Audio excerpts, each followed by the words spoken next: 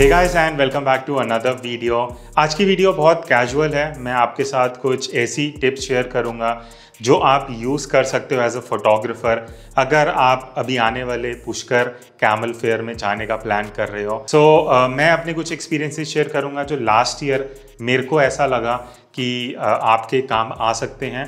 सो so, सबसे पहला point और ये चीज़ आप कंसिडर करना बिकॉज़ मेरे साथ क्या हुआ था कि मैं अराउंड तीन या चार लेंसेज कैरी करके गया था अपने बैग में और पहले दिन जब मैं निकला मेरा बैग पूरा हैवी था काफ़ी लेंसेज थे मेरे पास।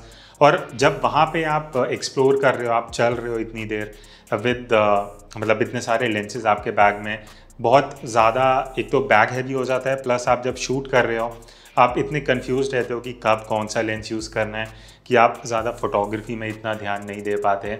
मेरा सजेशन रहेगा, पहले आप अपने माइंड में क्लियर करो। आप जाओ पुष्कर कैमल फेयर थोड़ा एक्सप्लोर करो 10-15 मिनट देखो। फिर आपको क्या लगता है कि आपको वाइड एंगल शॉट्स अच्छे लगते हैं पोर्ट्रेट शॉट्स चाहिए, या आप क्या लाइक करते हो उस हिसाब से आप अपने माइंड में सेट कर लो कि फॉर एग्जांपल आपको पोर्ट्रेट शॉट्स चाहिए। सो so, मैं सजेस्ट करूँगा अगर आपके पास 50 एफ़ 1.8 लेंस है या चौबीस सत्तर या सत्तर दो सौ सो बेसिकली आपको ऐसा लेंस चाहिए जिससे आप अच्छा ब्लड इफ़ेक्ट कैप्चर कर सको और अच्छे पोर्ट्रेट्स आपके वहाँ पे आ सकें। बिकॉज़ होगा क्या जब आप वहाँ पे जा रहे हो शूट करने। ऑनेस्टली वहाँ पे कैमल से ज़्यादा आपको फोटोग्राफर्स ज़्यादा देखने को मिलेंगे और आपके फ्रेम में मतलब बहुत चांसेस हैं कि आपके हर फ्रेम में फोटोग्राफर आ सकता है। सो so, आपको ज़्यादा से ज़्यादा ब्लर इफ़ेक्ट चाहिए होगा पीछे बैकग्राउंड में। सो so, ट्राई करो एफ़ 1.8 या एटलीस्ट एफ़ 2.8 का लेंस अगर आप कैरी कर सकते हो तो आपके लिए काफ़ी बेनिफिशियल रहने वाला है। नहीं तो अगर आपके पास पचपन ढाई सौ सत्तर तीन सौ इस तरह के लेंसेज हैं जहाँ पे आपको टेलीफोटो फोकल लेंथ मिलता है वो आपके काफ़ी काम आ सकते हैं। बिकॉज़ यहाँ पे मैं आपको कुछ शॉट्स दिखाऊँगा जो मैं लास्ट ईयर सिग्मा का 6600 हंड्रेड mm लेंस लेके गया था।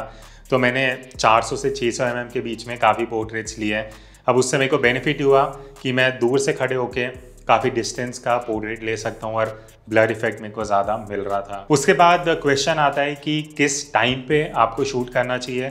मैं सजेस्ट करूँगा आप एकदम सनराइज से आधा घंटा पहले निकलो शूट करने के लिए एंड अराउंड आई थिंक साढ़े पाँच छः बजे सनराइज़ होगा। आठ, साढ़े आठ तक ये एक गोल्डन टाइम है जहाँ आप शूट कर सकते हो। और सनसेट के टाइम लेट्स से पाँच बजे से सात बजे का आपके पास टाइम है जहाँ पे आप अच्छे शॉट्स निकाल सकते हो। उसके बीच का जो टाइम होगा, वहाँ पे बहुत हार्श लाइट होती है। सन एकदम आपके ऊपर होगा। आप पोर्ट्रेट्स तो अच्छे नहीं निकाल पाओगे। हो सकता है कुछ डिफरेंट टाइप का आप शूट कर पाओ बट मेरे हिसाब से प्रेफर करो सनराइज़ और सनसेट के टाइम आप ज़्यादा से ज़्यादा उस कैमल फेयर के ग्राउंड में रहो और शूट करो। अब नेक्स्ट पॉइंट आता है या नेक्स्ट स्टेप जो मैं आपके साथ शेयर करूँगा वो है, जब आप पोर्ट्रेट शूट कर रहे हो, वहाँ पे क्या होगा, आप जब कैमल फेयर पे जाओगे, आपको बहुत लोग दिखेंगे जो अपने कैमल्स के साथ उनके ओनर्स बैठे होंगे एंड कोई खाना बना रहा है, कोई जस्ट बैठा हुआ है। एक नॉर्मल वहाँ पे कल्चर जो है, उस तरह का आपको कुछ दिखेगा। अब उसको कैप्चर करने के लिए मेरे हिसाब से यहाँ तो आप कैंडिड ले सकते हो या अगर आपको पोर्ट्रेट्स लेने हैं जो आपकी स्टेज पोर्ट्रेट्स हैं वहाँ पे आप ट्राई करो पहले थोड़ा इंटरेक्ट करो। आ, उनसे नॉर्मली वो हिंदी में कई लोग बात कर लेते हैं आप उनसे थोड़ा बात कर सकते हो। फिर जब आप शूट करोगे तो वो आपके साथ थोड़ा कंफर्टेबल रहेंगे एंड चांसेस हैं कि आप बेटर फ़ोटोज़ निकाल सकते हो। अगर आप कैंडिडेट्स ट्राई कर रहे हो तो बेटर है आप एक डिस्टेंस से शूट करो जहाँ पे आपकी फोकल लेंथ ज़्यादा है।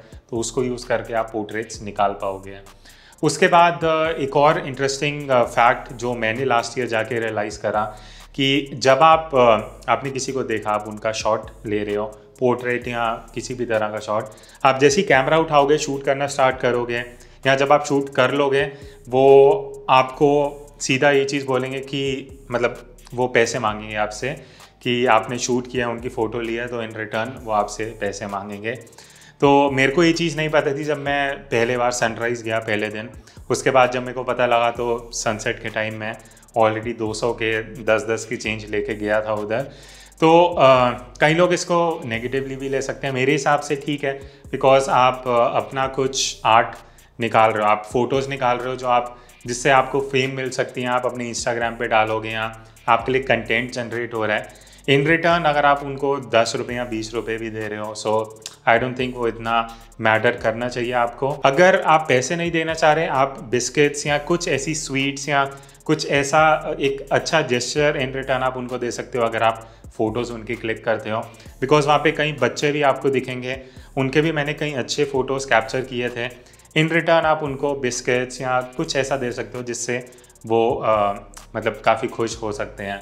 तो ये कुछ चीज़ें हैं जो मैंने इतने टाइम में रियलाइज़ करी जब मैं पिछले साल गया था, तीन दिन मैंने वहाँ पे शूट करा है। अब वीडियो ख़त्म करने से पहले एक एडिशनल टिप मैं देना चाहूँगा कि जहाँ आप, जब पुष्कर कैमल फेयर के लिए जाओगे, जहाँ पे होटल्स हैं 90 परसेंट होटल्स कैमल फेयर से ऑलमोस्ट 20 मिनट के वॉकिंग डिस्टेंस पे हैं।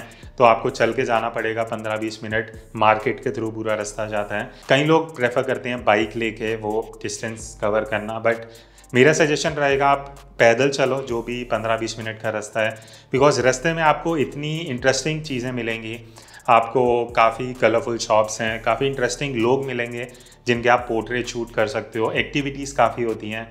तो मेरे हिसाब से बेटर है आप पैदल चल के जाओ और रास्ते में जो आपको जो भी चीज़ें मिलती हैं उसको आप अच्छे से इंजॉय करो एंड कैप्चर करो फ़ोटोज़ में।